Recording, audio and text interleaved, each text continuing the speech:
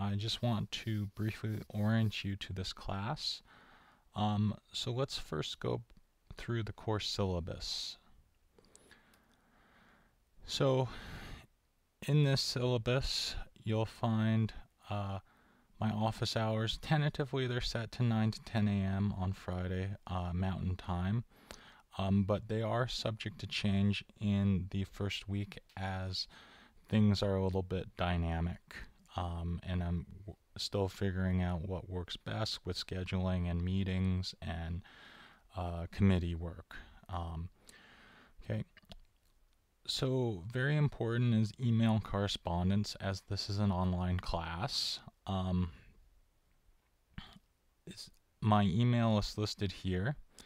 And when you email me, um, here's a brief template to help me help you a little bit better.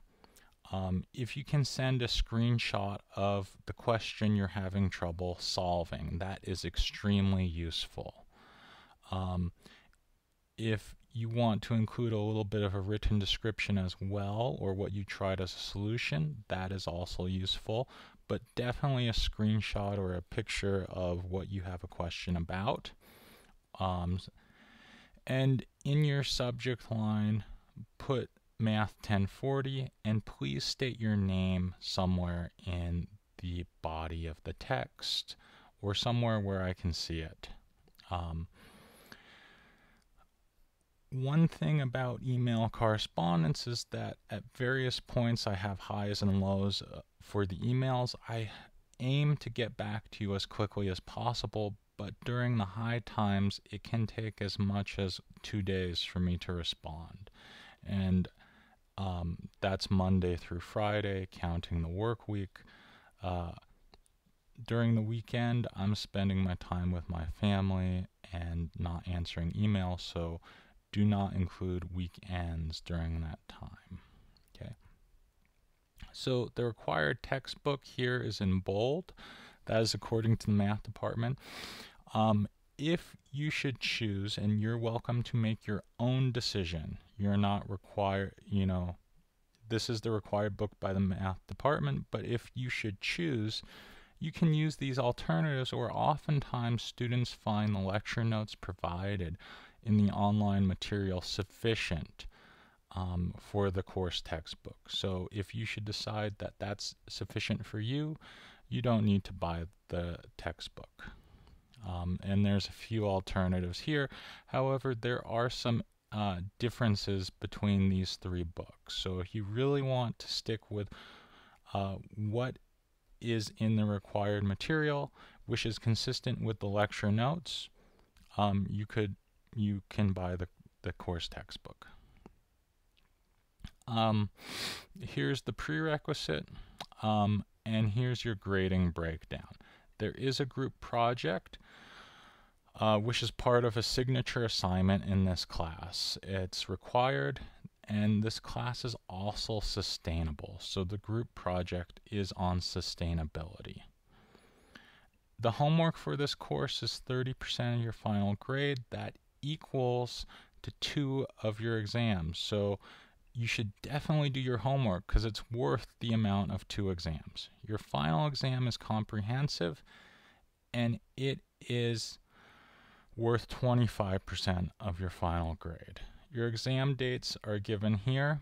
Um, you should notice that you are allowed some flexibility in when you take your exam um, and it's just listed here on Canvas. I'll go through that.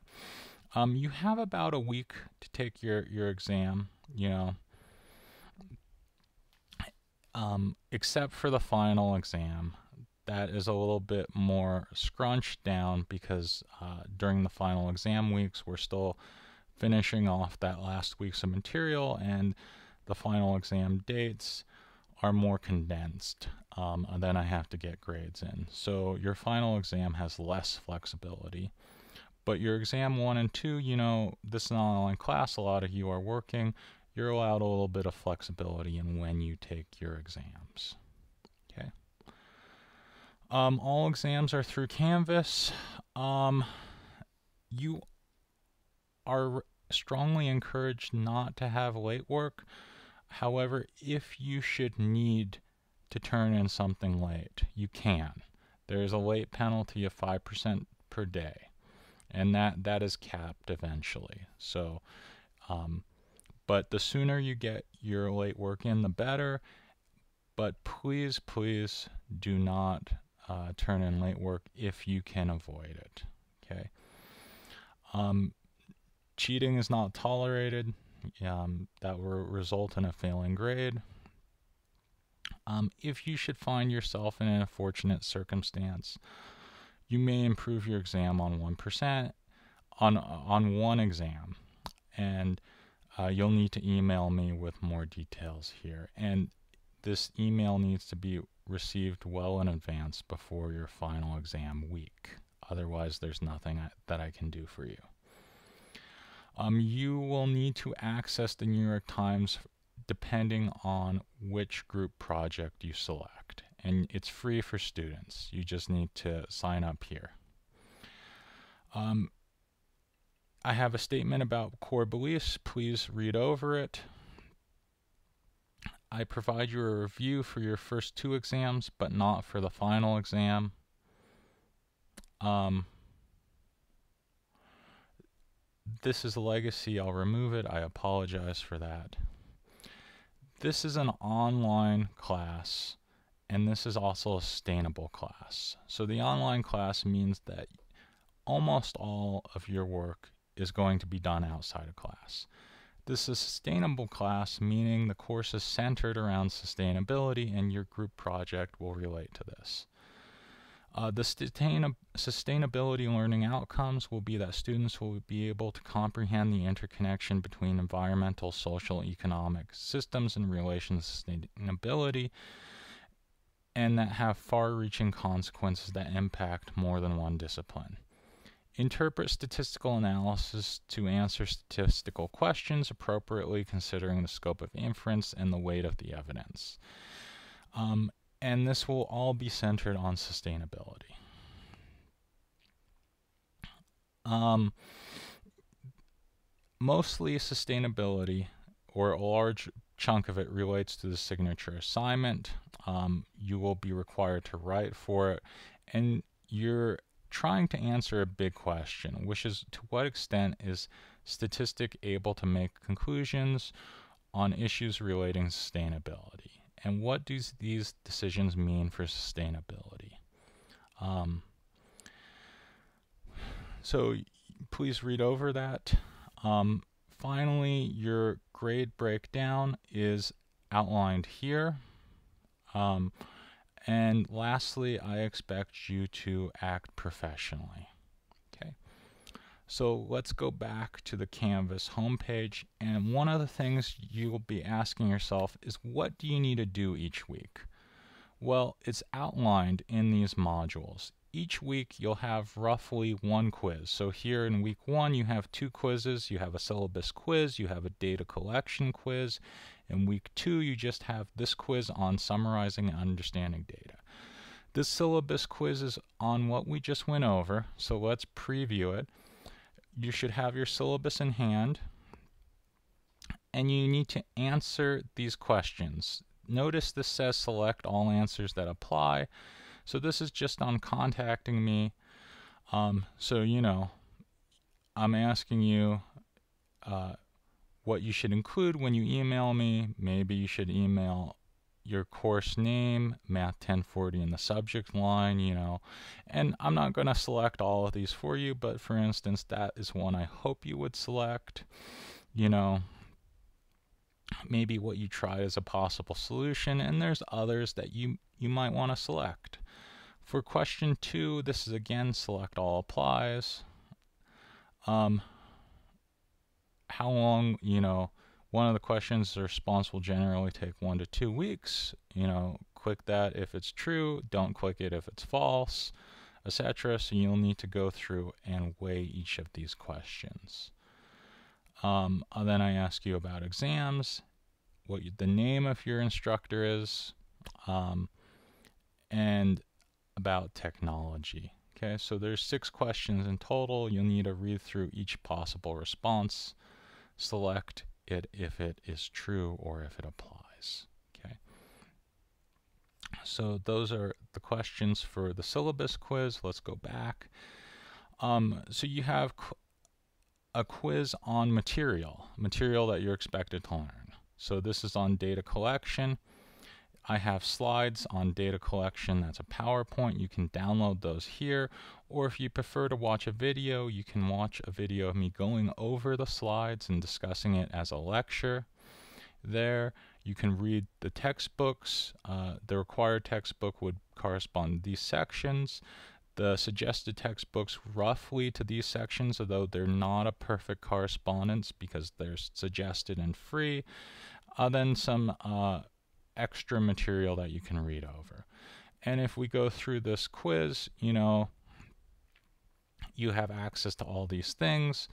Um, notice that you're allowed two attempts and your average score is recorded. Okay. Um, so question one here says that the newspaper reports that higher rates of drowning and ice cream consumption correspond. Does this mean that eating ice cream can put you at risk of drowning? What might be the reason behind the phenomena? Then you have to select the best answer. Okay. Um, here it's asking you to fill in the blank here, um, and you select select the appropriate missing statement. Um, here it's about sampling. How do you sample data? Um, other questions here. This is on a data set. And here, in this question, for instance, is different than the others. You're asked to select all questions that apply. One thing that I should note is that if you select a wrong question, one wrong question, right, one right answer, um, in this question 7, the wrong question is worth negative points if you select it. So only select answers that are true. Okay, and you select one that is true when in fact it's false the system in Canvas is set up so that counts as negative points. Okay. Um, here's another question. You're asked to select all that apply. Um, here's another data set. You're asked to respond all that apply. So that's in week one. Let's go back.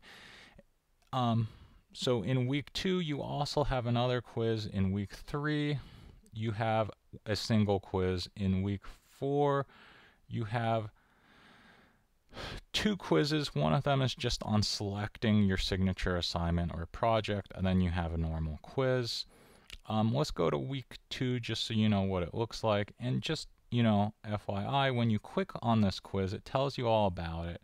So again, just you have your PowerPoint slides, you have the corresponding video lecture, you have the sections that you can read in your textbook. Um, and there's information here. So it tells you the points. It tells you that there's no time limit when you're taking this quiz. It tells you that you have multiple attempts and the attempts are two, and it keeps your average score. This is not always the same for every single quiz, so you're expected to read through it. Um, but all the information about your quiz is listed here. Um, generally, they're similar, but not all of them are the same. Okay, and certainly the points are different. If we preview this, this works a lot like the previous quiz. It's on the material, you know, and the material here is your sources for material, slides, lecture, uh, textbook. Okay. Here, you're asked to calculate the mean or average of this data set. Okay, and select the right answer. Here you're asked to calculate the standard deviation. And so, you know, this is just a true false question. You're, this question works a lot like the previous ones. And if we get back to the end, here's some graphs. There is a select all answers that apply. And you're to select, read through each of these responses and select it if it's true based on the graph. Okay. Um, again, another select all and an question 9 is select all. So there will be varying styles of questions that you're expected to answer. So that's what you're expected to do on a weekly basis. Eventually, when you're going through this, you will have an exam. Um, so let's look at week six. Week six, you have an exam. You click on this. Um, notice you are allowed a single attempt. There's a time limit, so all this information is provided here. You have a a date range for which you can take this exam from February 11th to February 20th. Um, and so this is your exam one. I'm not going to preview it because that's, you know, classified information. And, you know, this is just a little bit about it. If we go back, you should notice, hey, look, there's a review that corresponds to the exam.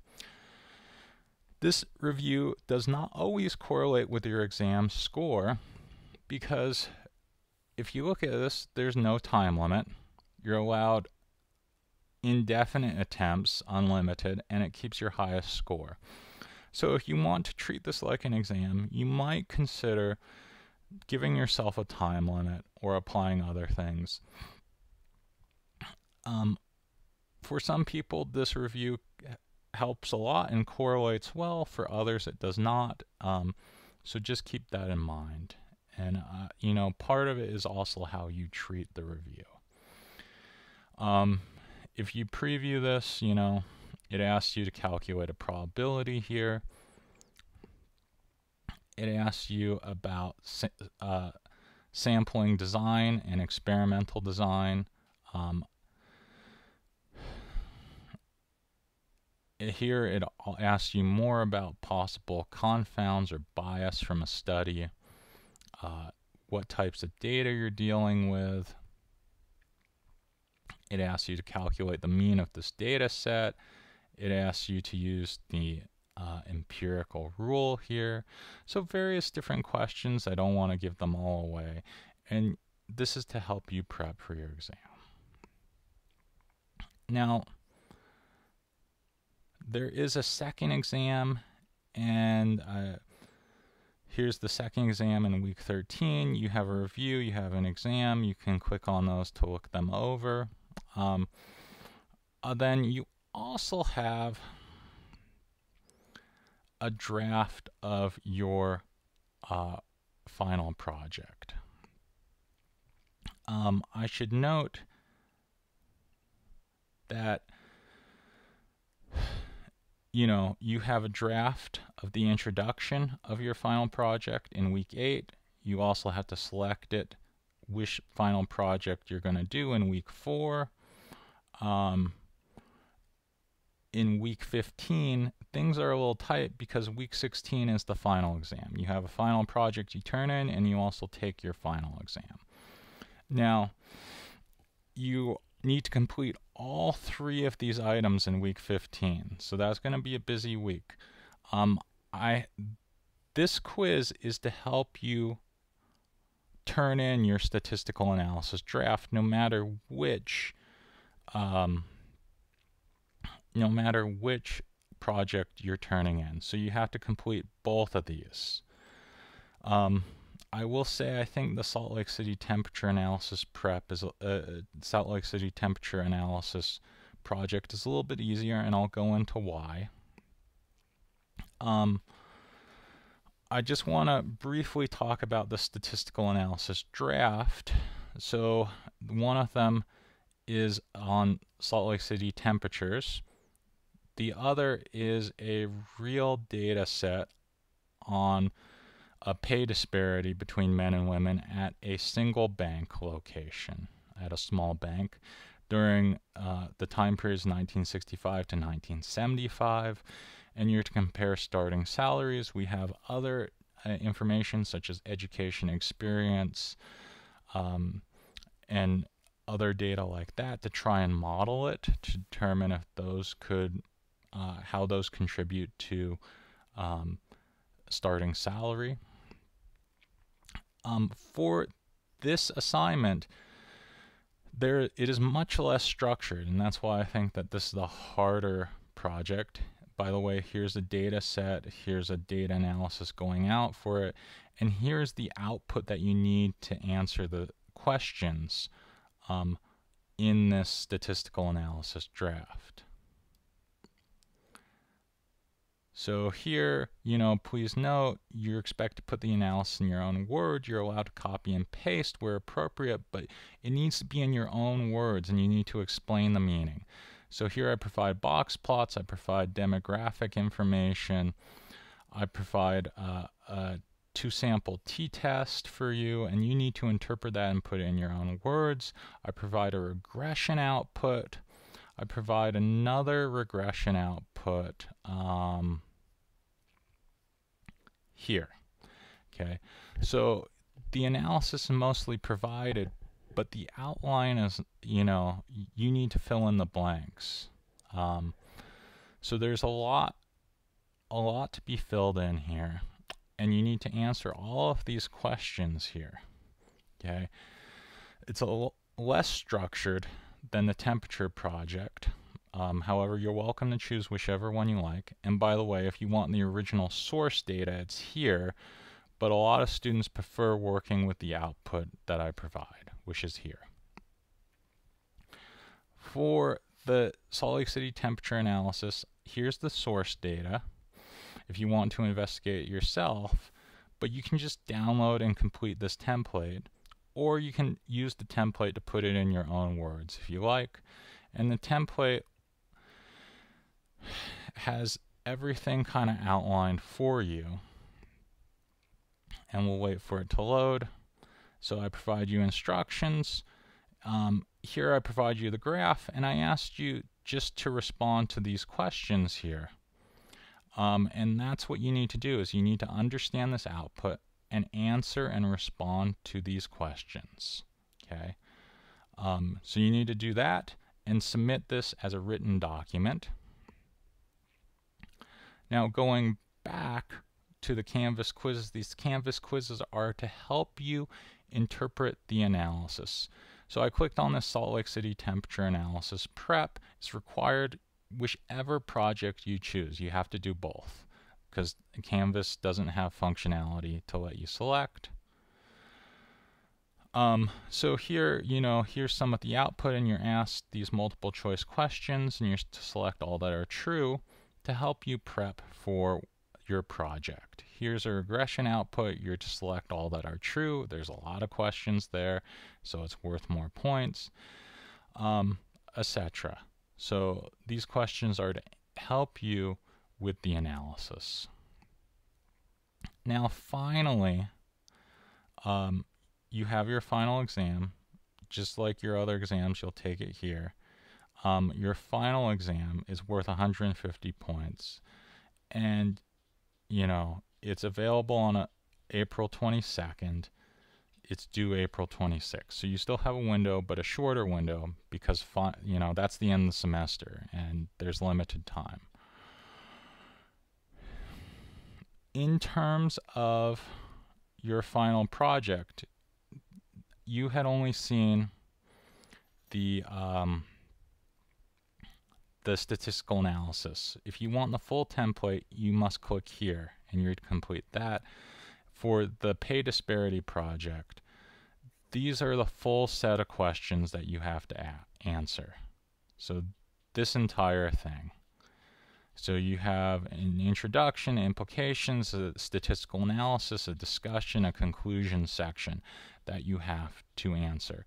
And for both these projects, um, you're not to include your personal opinion except in the last paragraph, and you're allowed one paragraph. Um, this is just reporting what you find and reporting on the data analysis. Um, not asking for anyone's personal opinion.